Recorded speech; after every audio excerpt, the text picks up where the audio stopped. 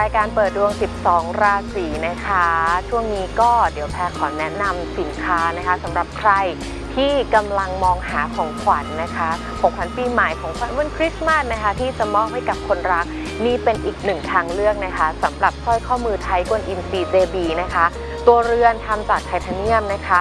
คุณสมบัติก็คือไม่ลอกไม่ดำและไม่เป็นสนิมนะคะ จะช่วยให้ระบบการไหลเวียนของเลือดดีขึ้น ระบบต่างๆ ในร่างกายก็จะเกิดความสมบูรณ์มากขึ้นด้วยนะคะทำให้ร่างกายของเรานั้น แข็งแรงบรรเทาอาการเครียดปวดหัวไมเกรน ความเหนื่อยล้าของสมองจากการทำงานทำงานนะคะ และที่สำคัญยังช่วยปรับสภาพ สำหรับบุคคลที่นอนไม่ค่อยจะหลับนะคะทำให้นอนหลับได้ดีมากยิ่งขึ้น บรรเทาอาการปวดเมื่อยตามส่วนต่างๆ ของร่างกายได้ด้วยนะคะ แล้วที่สำคัญก็ยังป้องกันผลกระทบจากคลื่นแม่เหล็กไฟฟ้า จากการใช้โทรศัพท์มือถือและคอมพิวเตอร์ สะท้อนรังสี UV ได้อีกด้วยนะคะ ก็เรียกได้ว่าดีนะคะสำหรับที่จะมอบให้กับคนรักหรือว่าตัวคุณเองนะคะ หากว่ารักสุขภาพก็สามารถนำไปใช้ได้สำหรับสร้อยข้อมือไทยกวนอิมซีเจบีนะคะ แล้วเราก็มีราคาพิเศษนะคะ ที่จะมอบให้กับแฟนๆรายการ ในวันนี้นะคะ 9 ชุดเท่านั้นนะคะ 999 บาท คุณผู้ชมสามารถโทรมาสอบถาม และสั่งซื้อได้ที่หมายเลขโทรศัพท์นะคะ 022779696 นะคะ 022779696 ค่ะ เอาละค่ะ แล้วก็สำหรับช่วงนี้นะคะ พูดคุยสายสดนะคะ ที่หมายเลขโทรศัพท์ 024960493 และ 024960494 นะคะจ้ะ SMS ค่ะ พิมพ์ PD ตามด้วยวันเดือนปีเกิดเวลาเกิดนะคะ หากถามลัคนาราศีก็ระบุจังหวัดมาด้วย ตามด้วยข้อความที่ต้องการจะถามอาจารย์พรพจน์นะคะ ส่งมาที่หมายเลข 4221606 ค่ะ เอาละค่ะ มาตอบ SMS คุณผู้ชมกันเลยค่ะ ท่านแรกนะคะ เกิดวันที่ 5 กันยายน ปี 01 ตรงกับวันศุกร์นะคะ เวลา 9 โมง ถามโดยรวมนะคะอาจารย์ แล้วก็ทำบุญเสริมอะไรดีเอ่อก็คงจะเตือนในสิ่งที่เอ่อผมผมจะเตือนในเรื่องที่ต้องระวังก่อนละกันนะครับปัตตานีเป็นกาลีนะถ้าทำธุรกิจแบบมีหุ้นส่วนก็ให้ระวัง ถ้ามีคู่ครองคนรักก็พยายามประคับประคองความสัมพันธ์ อยู่กันอย่างมีระยะห่างบ้าง แต่งานเนี่ยเอ่อต้องบอกว่ามันมีโอกาสจะเกิดความเปลี่ยนแปลงนะ แต่จะเป็นในลักษณะที่ว่าอ่าจะได้เริ่มต้นอะไรที่ต่างจากเดิม โดยได้รับความช่วยเหลือ จากคนที่มีส่วนได้เสียนะฉะนั้นก็พูดง่ายๆงานใช้ได้ แต่ให้ระวังปัญหาเรื่องความรักและก็การเงิน มีเกณฑ์เสียทรัพย์ให้กับอืมคนรักอืมนะหรือว่าคนในครอบครัวค่ะก็ได้ ของคุณช่วงปีจรนี้นะครับ ก็หมั่นทำบุญน้ำมันตะเกียงนะถ้าสะดวกให้ไปทำวันพระฤหัสบดีครับ อ๋อบ้านเลขที่นะคะมี 2 หลังทับ 259 และทับ 260 ค่ะ ก็ 259 โอเคอยู่แล้วนะอ่ายังไงก็แล้วแต่เนี่ยก็คือในเรื่องของความสำเร็จในเรื่องของสิ่งศักดิ์สิทธิ์วันพระอย่าลืมนะไหว้พระเจ้าที่ภายในบ้าน ส่วน 260เนี่ยระวังกระเป๋าสตางค์รั่ว ออมไม่ได้เก็บเงินไม่อยู่ อันนี้ใช้ทองคำเปลวแท้ บริกรรมคาถาชินบัญชรแล้วปิดไปที่เลขศูนย์นะครับ ค่ะ ท่านต่อไปค่ะ คุณโปค่ะ เกิดวันที่ 6 มิถุนายน ปี 2483 นะคะจ้ะ อ่าตรงกับวันพฤหัสเวลา 14 นาฬิกาถามนะคะอาจารย์ว่า 9 ธันวาคมที่จะถึงนี้นะคะ ครับ จะมีการผ่าตัดเล็กจะเป็นอันตรายไหมครับ ตอนนี้อยู่ในช่วงอายุย่าง 76 นะ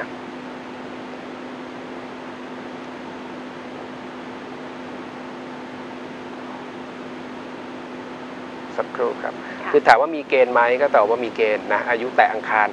นะครับ แต่ว่าดูจากทรงแล้วเนี่ยก็ไม่น่าจะมีอะไรที่ต้องกังวลมาก แต่อืมจะเป็นลักษณะที่ว่าหลังการผ่าตัดแล้วเนี่ยดูแลตัวเองให้ดีนะครับแล้วก็ผมจะแนะนำเสมอเลยใครที่จะเข้าสถานพยาบาลเพื่อรักษาตัว โดยเฉพาะการผ่าตัดเนี่ยก็ให้ไปกราบสักการะค่ะสิ่งศักดิ์สิทธิ์ในสถานพยาบาลแห่งนั้น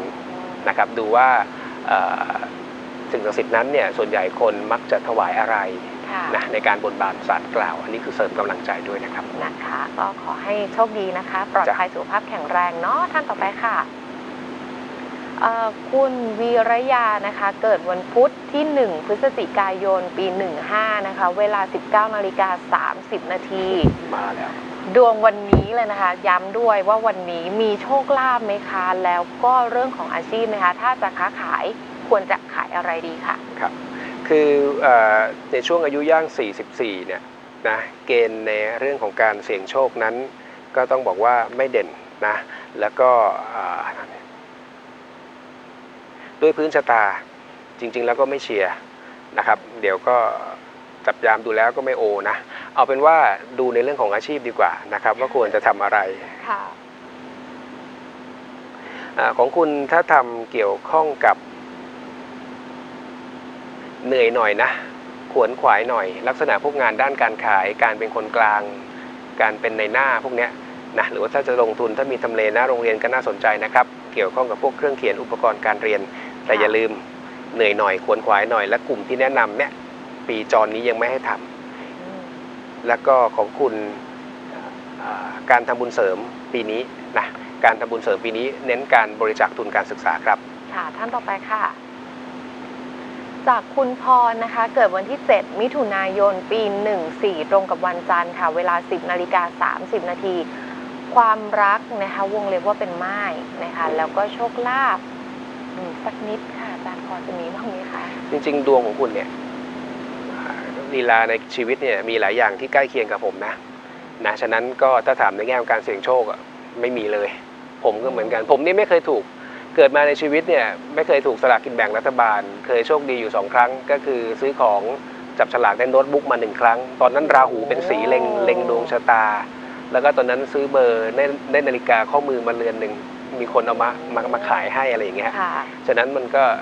ด้วยโชคลาภก็คงจะไม่เชียร์นะอืมดวงเนี้ยผมเชียร์นะ ผมอยากให้เรียนโหราศาสตร์จริงค่ะๆจ้ะความรักอะค่ะอาจารย์ก็ คล้ายๆกันนะสุกร์กับเสาร์เป็นเส้นศัตรู ก็ความรักมักจะมีปัญหามักจะมีอุปสรรคมอยู่กันแล้วก็มักจะอ่าเขาเรียกว่ามีปัญหามีความขัดแย้ง ฉะนั้นค่ะดวงนี้แหมผมไม่อยากจะตอบว่าถ้าอยู่คนเดียวได้ให้อยู่นะเดี๋ยวจะเข้าตัว เอาเป็นว่าในแง่ของความรักถ้าคิดว่าอยู่คนเดียวแล้วแล้วไม่เดือดร้อนก็จะเป็นอย่างที่ผมบอกแหละ น่าจะทุกข์น้อยกว่าครับค่ะท่านต่อไปค่ะ คุณปุกนะคะ เกิดวันที่ 16 มีนาคมปี 22 ตรงกับวันศุกร์นะคะ เวลา 15นาฬิกา5นาที ป่วยเป็นไทรอยด์นะคะ มีโอกาสผ่าตัดไหมแนะนำด้วยค่ะอาจารย์ปีนี้ไปดูดีๆนะว่าไอ้ก้อนเนื้อไอ้หรือว่าไทรอยด์เนี่ย มันยังโอเคอยู่หรือเปล่า ปีนี้ให้ระวังนะ ไปตรวจเช็คเพื่อหาสิ่งแปลกปลอม และปีนี้ถ้าคุณหมอ recommend ให้ผ่าอืมก็ตามนั้นนะครับ เพราะหมอเป็นมนตรีผ่าตัดเป็นสี นะค่ะปีนี้เป็นห่วงนะไปเช็คไปเช็คดูว่า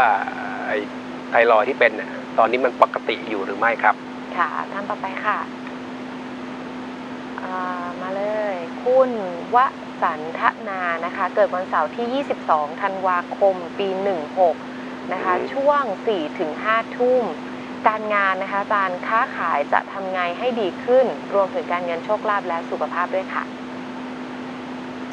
ตอนนี้อยู่ในช่วงอายุย่าง 42 นะครับ ก็เรียนคุณผู้ชมนะว่าบอกมาเลยนะครับว่าค้าขายอะไรนะเบื้องต้นนะครับย่างของคุณผมจะดูหลังวันเกิดนะหลังวันเกิดเกณฑ์ในเรื่องของงานจะมีโอกาสได้ขยับขยาย จะมีโอกาสได้ขยับขยาย พระข้อปีก็เป็นสี และในแง่ของคนทำมาค้าขายก็ให้บริกรรมคาถาบูชาคาถาเรียกทรัพย์ เป็นคาถาบูชาหลวงพ่อปานด้วยนะครับ ก็พุทธมะอะอุนะโมพุทธายะ วิละทะโย วิละโกนายัง วิละอิกษา วิละทะสิเนี่ยร่ายไปจนจบนะทำท่องทุกวัน ส่วนสุขภาพด้วยพื้นชะตาก็เน้นทางเดินหายใจ แล้วก็ช่องท้องโดยเฉพาะพวกทางเดินอาหารครับ ค่ะท่านต่อไปค่ะเอ่อเกิดวันที่เดี๋ยวนะคะ 5 กันยายน ปี 17 นะคะ เวลา 4 นาฬิกา 56 นาที ฟ้าสว่างวันพฤหัสนะคะจะจะได้เจอคุณพ่อผู้ให้กำเนิดไหมคะปิตาโยงมรณะ ถ้าเจอกันก็มักไม่ลงรอย หรือคุณพ่ออาจจะมีปัญหาสุขภาพ หรือห่างกัน หรือฉะนั้น คใช่ ฉะนั้นถ้าเป็นแบบนี้ก็ต้องตอบตรงๆว่าน้อยครับ โอกาสที่จะสมหวังน้อยครับ หรือว่าถ้าเจอเจอกันโอกาสที่จะได้อยู่กันอย่างตลอดรอดฟัง ก็น้อยครับ อาจจะมีเหตุปัจจัยอะไรบางอย่าง ที่ทำให้ให้เป็นเช่นนั้น เพราะด้วยพื้นชะตาเป็นแบบนี้ครับเอานะแต่ถือว่ายังมีโอกาสเล็กน้อยก็ยังดีก็เนาะก็ได้จอก็เป็นกำลังใจให้นะครับนะคะอืมท่านต่อไปค่ะคคุณโจค่ะ เกิดวันที่ 4 กรกฎาคมปี 15 เวลา7นาฬิกา30 นาทีนะคะมีโอกาสได้งานเร็วๆนี้ไหมแล้วโชคลาภมีไหมเป็นราศีอะไรอ๋อ ไม่ได้บอกจังหวัดมาเนาะรบกวนใส่สถานที่เกิดเข้ามาด้วยนะครับ ตอนนี้อยู่ในช่วงอายุย่าง 44 วันอังคาร ไม่ได้บอกด้วยนะ 4 กรกฎาคม15 ถ้าไม่ใช่วันอังคารส่งคำถามเข้ามายืนยันใหม่นะครับ ย่าง 44 วงกลมตกเอ่อช่วงย่าง 44 มีลุ้นนะครับนะอาจจะเป็นช่วงประมาณเอ่อประมาณอย่างช้านะ กุมภามีนาอืม นะแต่ว่าช่วงนี้ก็อย่าเพิ่งท้อกับการหางานนะครับเพราะด้วยธรรมชาติในดวงบอกแบบนั้น และด้วยธรรมชาติคนคนเราเนี่ยอัตรากำลังที่จะว่างลงทั้งระบบเศรษฐกิจ มักจะเกิดขึ้นในช่วงต้นปี เพราะคนรับโบนัสแล้วก็มักที่จะมีการมองหาสิ่งใหม่ค่ะๆจึงจะมีการโรเตทเกิดขึ้นครับอืมนะคะเอาละค่ะ ตอนนี้มีสายจากคุณผู้ชมทางบ้านนะคะ สวัสดีค่ะ สวัสดีครับ สวัสดีครับค่ะคุณอะไรคะอนุสรณ์ครับ คุณอนุสรณ์นะคะ ขอทราบวันครับเดือนปีเกิดด้วยค่ะ12มกราครับจ้ะปีค่ะปี2 2492ครับปีฉลูครับสี่เก้าสองนะคะ ตรงกับวันอะไรคะ วันพุธครับวันพุธขอทราบเวลาเกิดด้วยเวค่ะ ลาเอ่อ06จุด30ครับ6โมงครึ่งครับ6โมงครึ่งตอนเช้านะครับ ครับครับ ปฏิทินตรงกับวันศุกร์ถูกไหมฮะเอาวันพุธขออภัย 12 มกราคม2492ตรงกับวันพุธถูกต้องครับค่ะ อะวันนี้จะถามเรื่องอะไรจ๊ะ เออผมมีที่จะปลูกเอ่ออาคารพาณิชย์สองชั้นเนี่ยเอ่ออืม มีได้ไหมฮะคือทำให้คนเช่าหรือเปล่าฮะหรือยังไงฮะหรือว่าทำเอ่ขาอยจะขายนะเป็นอาคารพาณิชย์ครับ จะขายฮะก็คือหมายถึงว่าสร้างฮะมีที่สงเราจะสร้าง ฮะอะผมก็ต้องถามครับจ้ะผมผมต้องถามกลับว่าก่อนหน้านี้คุณทำอาชีพอะไรฮะทำเกี่ยวข้องกับแวดวง แวดวงพวกนี้หรือเปล่าเคยทำประเภทเนี้ครับ ตอนนี้อยู่ในช่วงอายุกำลังจะเข้าย่าง 68 แล้วนะครับนะเดี๋ยวแป๊บหนึ่งจ้ะ แล้วปีหน้าเนี่ยฮะปลูกได้ไหมใช่เอ่อถ้าจะให้ทำจริง ๆทำหลังวันเกิดนะ ครับปีหน้าใช่ไหมใช่ใช่ทำหลังวันเกิดเพราะเกณฑ์เรื่องงานเด่นครับครับนะเกณฑ์เรื่องงานโอเคครับจ้ะแล้วถ้าเป็นบ้านเช่าล่ะฮะเป็นบ้านเช่ารายเดือนรายอันโหลอ่าครับถ้าถ้าถ้าเป็นบ้านเช่าถ้าจะเปลี่ยนว่าไม่ได้ทำขายใช่ไหมจะทำให้คนมาเช่าอย่างนั้นใช่ไหมเป็นฮะบ้านเช่าครับ อันไหนจะดีกว่ากันครับเอ่อผมผมอย่างนี้นะ ผมผมเชียร์ ผมเชียร์ให้ทำเป็นลักษณะบ้านเช่าดีกว่า แต่แต่นะครับครับแต่ว่าเป็นลักษณะไม่ไม่ต้องอาเป็นระดับล่างอะครับครับนึกออกไหมฮะทำเป็นลักษณะระดับล่างก็คืออาในเรื่องของค่าเช่าไม่ต้องแพงนัก แล้วก็ในเรื่องของอุปกรณ์อำนวยความสะดวกอะก็ไม่ต้องมีอะไรมากมายครับอย่างเงี้ยถ้าอย่างเงี้ยสมสมสมรูปดวง ครับครับทำได้ ครับดีกว่าขาย ครับ แต่เอาเป็นว่าทั้งหลายทั้งปวงนะ หลังวันเกิดไปแล้วเนี่ย ในเรื่องของงานโปรเจกต์ที่คุณคิดอยากจะทำเนี่ย โดยรวมสมูทพอสมควรเลยครับ ครับจ้ะแล้วแล้วทำเป็นร้านอาหารได้ไหมครับอันโหลอืมของกินเหรอ ของกินทำอร่อยไหมล่ะ ถ้าคุณทำอร่อยก็พอไหว คือว่ากับ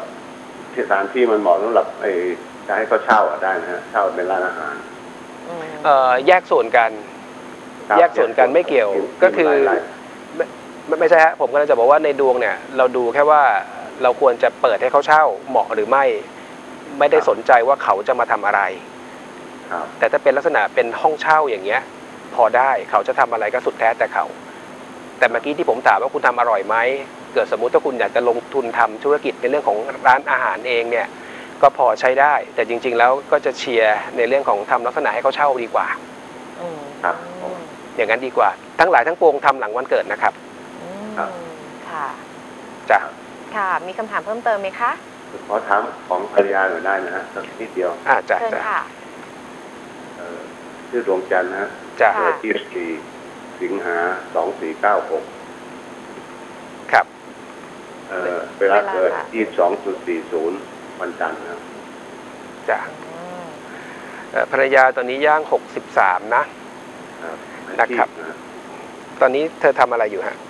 เออเกษียณแล้วกำลังหางานทำอยู่ครับว่าอืม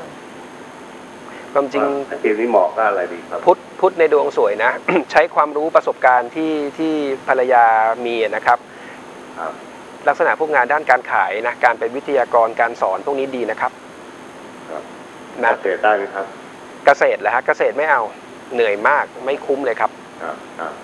นะหรือเป็นลักษณะซื้อมาขายไปก็ได้ครับนะฮะอสังหาริมทรัพย์ได้ไหมครับอสังหาไม่เชียร์ครับเหนื่อยครับเหนื่อยทั้งคู่แหร้าละนอาหารเลยครับเอ่อร้านอาหารไม่เอาก็อย่างที่ผมบอกอันนั้นละเด่นนะเกี่ยวข้องกับการเรียนการสอนทำเป็นพวกร้านหนังสือนะครับพวกสเอ่อศูนย์ถ่ายเอกสารอะไรพวกเนี้ยนะการเป็นคนกลางในหน้าพวกเนี้ยอันเนี้ยดีกว่า ครับครับผมอืมจ้ะค่ะ ครับผมเอาขเลยอบพระค่ะ คุณครับครับขอบค่ะจ้ะขอบพระยิคุณนดีมากครับ ค่ะ ครับขอบพระคุณมากครับค่ะสวัสดีสวัสค่ะครับ ครับ เอาละค่ะ มาต่อกันที่ SMS นะคะ จากคุณอัมพรนะคะ เกิดวันเสาร์ที่ 28 กรกฎาคม ปี 16 ปีฉลูเวลา 19นาฬิกา13 นาทีค่ะ โชคลาภอาชีพ อะไรดีตอนนี้ทำซักรีดอยู่ค่ะ โอ้ยจันทร์เสาร์มรณะเหนื่อยแย่เลยนะ ไม่ค่อยจะเห็นตังค์ด้วยซ้ำไป ของคุณแป๊บหนึ่งครับเอ่อดวงนี้นะดวงนี้ถ้าทำพวกเครื่องดองของเมาสลากกินแบ่งให้มันถูกต้องตามกฎหมาย ตอบโจทย์ในแง่ของการเลี้ยงชีพนะครับ แล้วก็อีกกลุ่มหนึ่ง เมื่อกี้พูดถึงอาชีพที่ทำลายสุขภาพนะแต่อีกกลุ่มหนึ่งเนี่ยถ้าทำธุรกิจเกี่ยวข้องกับสุขภาพก็ใช้ได้เพียงแต่ว่าโปรดักที่เอามาขายเนี่ยอืมถ้าเป็นไปได้ก็อาจจะมีการนำเข้ามา เราไม่ได้นำเข้าเองก็ได้นะครับ อาจจะเป็นเชนที่ต่อกันมาอืมนะค่ะอันเนี้ยใช้ได้แล้วก็ดวงนี้ศึกษาโหราศาสตร์ดี มีจิตตานุภาพครับค่ะท่านต่อไปค่ะ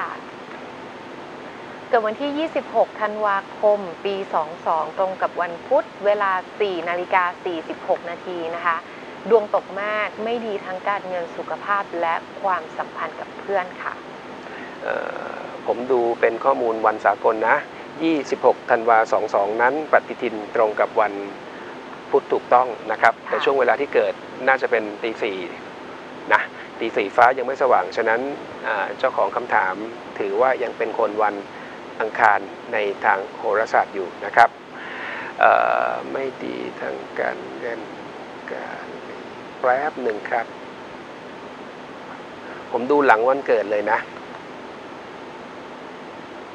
เอ่ออีกไม่กี่วันค่ะถ้าคุณรู้สึกว่าณขณะนี้คุณก็มีความขัดแย้งนะกับคนใกล้ชิดความสัมพันธ์กับเพื่อนเนี่ยผมอยากจะบอกว่า หลังวันเกิดจะชัดเจนกว่านี้อีก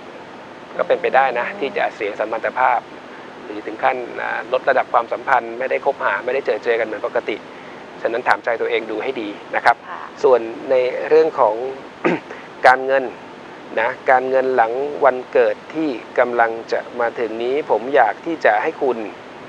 เอ่อหาโอกาสทำทานกับเด็กเล็ก ๆนะครับอืมสถานสงเคราะห์เด็กโรงพยาบาลเด็กหรือว่าเด็กที่เขาด้อยโอกาสทั้งหลายเนี่ยทำซะค่ะนะแล้วก็อย่าลืมฮะดูแลความสัมพันธ์ เพื่อนเนี่ยเขาบอกไม่มีไม่มีการลาออก คนเราเป็นเพื่อนกันใช่ค่ะตลอดชีวิตนะครับ แฟนคนรักบางครั้งยังมีการเปลี่ยนแปลงค่ะจ้ะนะคะอะท่านต่อไปค่ะ เกิดวันที่ 12 กุมภาพันธ์ ปี 16 วันจันทร์ เวลา 18 นาฬิกานะคะ โชคลาภวันนี้นะคะ แล้วก็ตอนนี้คบกับฝรั่งอยู่นะคะ ถามว่าใช่คู่ไหมคะ ตอนนี้อยู่ในช่วงอายุย่าง42 ของคุณด้วยพื้นชะตามันโยงสุภาสุภาหมายถึงต่างประเทศด้วยนะ รูปร่างหน้าตาดีด้วยนะอืมนะไม่ได้ทายบอกว่าดีเพราะคุณบอกเป็นฝรั่งนะแต่ว่าในดวงบอกว่าคู่จริง ๆ ก็บุคลิกภาพโดยรวมถือว่าดีนะแล้วก็ถ้าคบหากัน ถ้าคุณคบหากันตั้งแต่ช่วงอายุย่าง 42 มีความเป็นไปได้สูงมากนะหรือแม้กระทั่งถ้าคบหลังจากนั้น ถ้าคบผ่านย่าง 43 เข้าย่าง 44 ก็มีโอกาสที่จะตกร่อง ปลอกชิ้นครับ เบอร์โทรศัพท์ 2442 ค่ะ โอ้อันนี้ดีอยู่แล้วนะ ก็จันทร์โฉมตรูพุธนงเยาว์เป็นคู่มิตร แต่โชคลาภไม่เด่นครับ ไม่เด่นนะเอาละค่ะ เดี๋ยวช่วงนี้ต้องไปพักสักครู่นะคะ ช่วงหน้าพูดคุยสายสดกันหมายเลขโทรศัพท์